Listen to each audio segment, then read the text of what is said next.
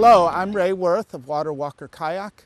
Today we're going to talk some about stand-up paddleboarding and then you'll get to see what it looks like out on the water. We have two different types of stand-up paddleboards here today. We have um, the, this Cruiser Koa, which is what they call a soft top. If you feel it, it um, has a little give to it, has pretty good um, friction so you don't slip around on the board. And if you, if you want to sit on the board or lie on the board, it's a softer surface to be on. So those are very comforting, comfortable boards, especially for beginning and intermediate stand-up paddleboarders. Another type of stand-up paddleboard we have here today is the Cruiser VMAX. So you can see this one has a bamboo inlay on the surface. It's a fiberglass and um, resin composite construction and it's a little stiffer, a little faster in the water. Um, both are boards that can be paddled by beginners and intermediates. In order to get out on the water in a stand-up paddleboard, you obviously also need a paddle. And these paddles compared to a sea kayak paddle have only one blade, of course, much like a canoe paddle. They are adjustable length, so people of different um, heights can comfortably use them. And depending on conditions, you also might want to adjust the length of your, of your paddle one of the great things, one of the great things about stand-up paddleboarding is the simplicity of the sport. As a kayaker, I've really enjoyed the fact that once you put on your life jacket, which of course for all water sports is a piece of essential equipment, but once you put on your life jacket and grab your paddle and your board, you're good to go. If you're going on a trip that's a little longer, of course you need, you want some water and some sunscreen on a paddleboard, you might say, well, where do I put those things? One solution is um, a small dry bag with an oversized twist tie. And as you see, you can see the paddleboards have these small fittings where you can lash things down. Um, there's another one right here. So obviously you can put essential items, car keys, sunscreen, things like that in your small bag. I also like to wear a, um, a, a, waist pack and you can obviously put some things in here, although I need to be careful not to put anything in there that, that can't get wet. I like to keep a water bottle right in my waist pack and that way when I'm up on my paddleboard I don't need to even bend over, I can just swivel it around and take out my water and have a drink um, and, and be on my way.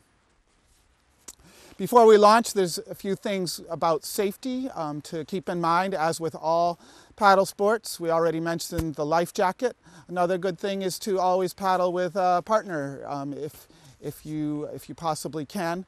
Um, obviously that makes it safer. Um, do check the weather forecasts.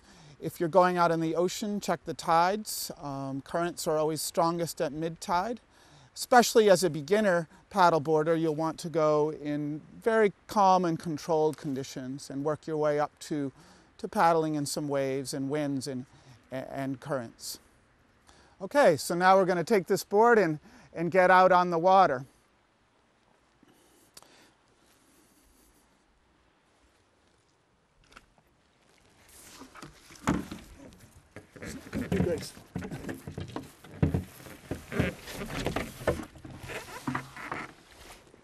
This board is about 12 feet long and the width is about 32 inches. So it's quite, it's a very stable board.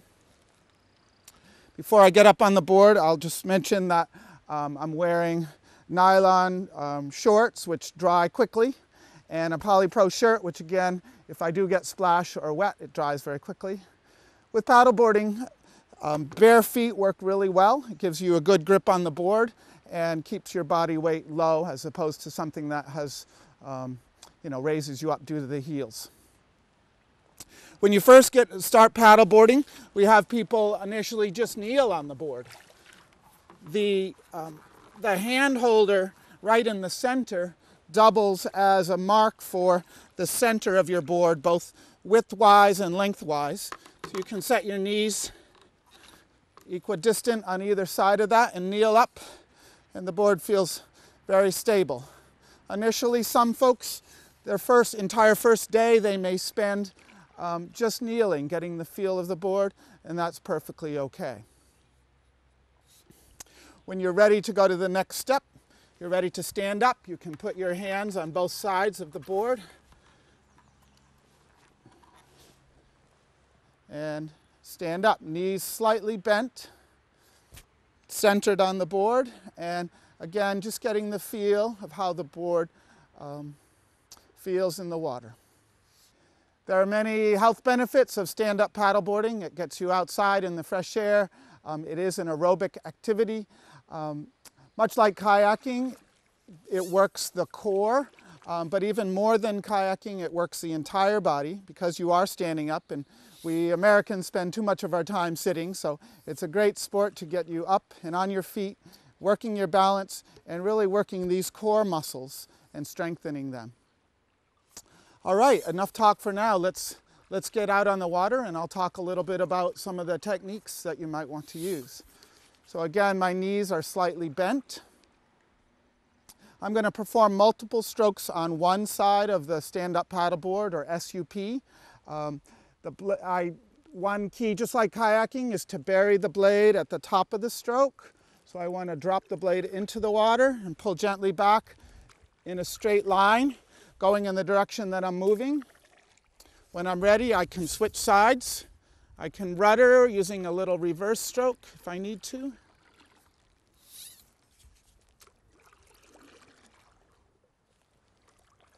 With each stroke, I want to bring my hip on that side of the stand-up paddleboard forward, as well as my shoulder. So there's a lot of torso rotation going on. The strokes are much the same as in a kayak or canoe. We have a forward stroke, which is what we spend most of our time doing.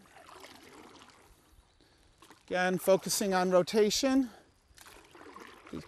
The stand-up paddleboards have long fins, which helps keep them straight. But I do need to switch sides occasionally.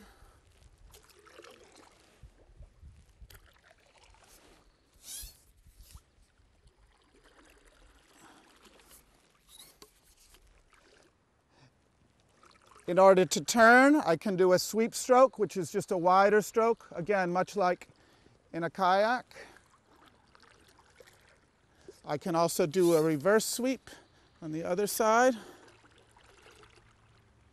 So as you can see, the paddle boards will turn quite easily. Depending on where you um, will be paddling will influence your choice of boards, but again, um, all boards can be used on all waters. Our, we don't have a lot of surf here in Penobscot Bay, so uh, no matter what board you get, you can use it in the ocean and you can certainly use it on the calmer waters like this. We do have a lot of great places to paddle in Belfast. We have um, Swan Lake, we have Goose River, we have the Little River reservoirs, we have of course um, Belfast Harbor, we can go up the, the Passagasawt Wakheg River, so uh, many great chances to get out on the water.